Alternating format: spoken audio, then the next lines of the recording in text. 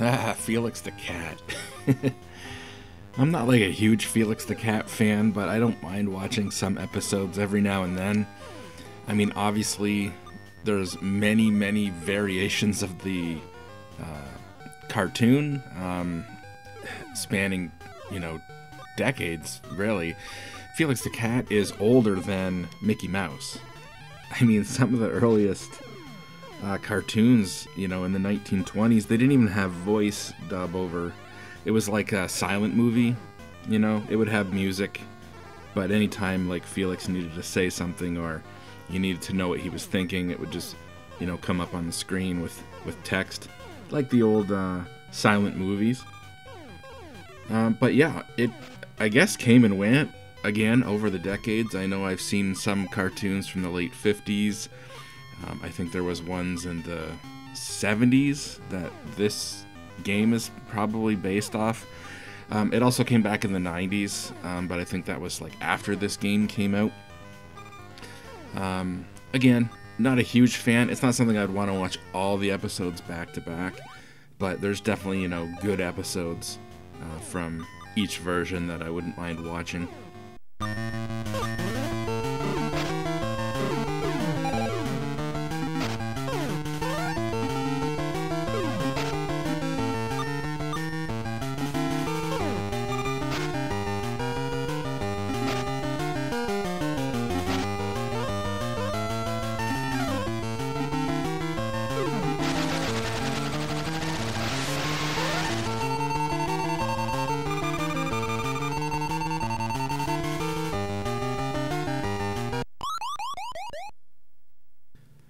Um, this game came out uh, in 1993 for the Game Boy, although it's heavily based on the NES version, which came out a year before, 1992.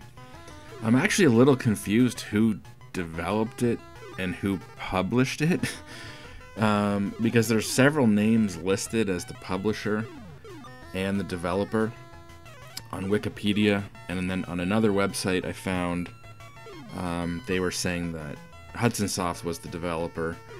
Um, that might vary between the NES version and the Game Boy version, but they're they're so similar that they're kind of the same game, and they're also very similar to um, the Wonder Boy, um, not Wonder Boy so much, Adventure Island. Sorry, they're very similar to Adventure the Adventure Island games, uh, like especially like two and three um, on the NES or on the Game Boy. I played those on the Game Boy as well.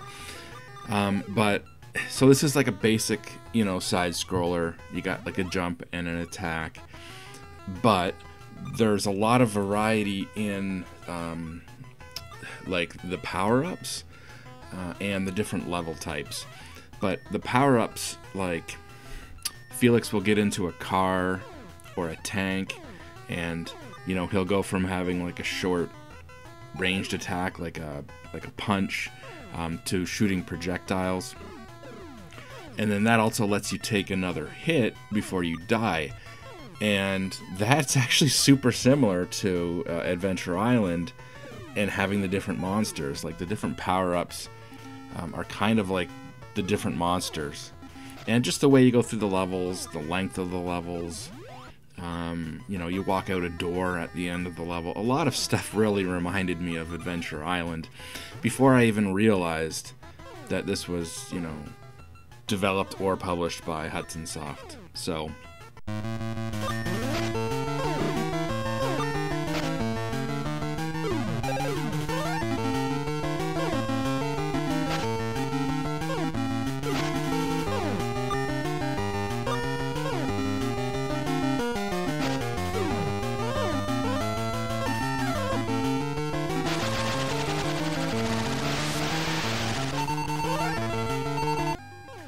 If you like the Adventure Island games, you'll probably like this game. There's a lot of variety in the power ups, but not just that, the different level types, like I said. You've got, um, you know, levels where you're on foot and you're jumping around, uh, and you've got different power ups for those levels. And then you've got swimming levels, um, you've got. Um, like flying levels, and again, the power ups are different for those types of levels. So when you're in a flying level, you know, instead of getting in a tank, you're going to get in a plane. and then that's going to give you your you know your shooting attack.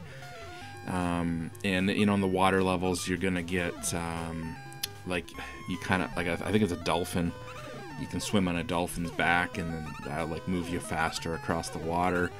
Um, there's levels where you're on top of the water, and then there's levels where you're actually swimming. So yeah, a lot of variety between the different level types and all the different power-ups those level types have.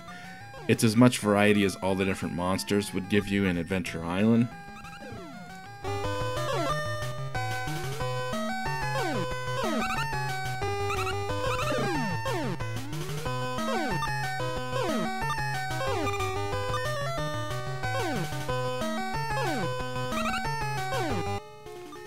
Yeah, Felix the Cat on Game Boy or NES, um, I, I, guess, um, worth checking out. The NES version got got really good reviews. I mean, Game Game Informer back in the day gave it like a 7.5. Um, GamePro gave it a 5 out of 5. Um, so yeah, good game. Maybe uh, a little less known. Kind of flew under the radar for me at least. Wouldn't uh, have expected it to have such such variety and you know good graphics, good music on the Game Boy. Um, it's definitely one of the better um, platforming games uh, on the Game Boy, um, other than the obvious ones from Nintendo. It's like, you know, the graphically speaking, this is um, almost as good as Super Mario Land 2.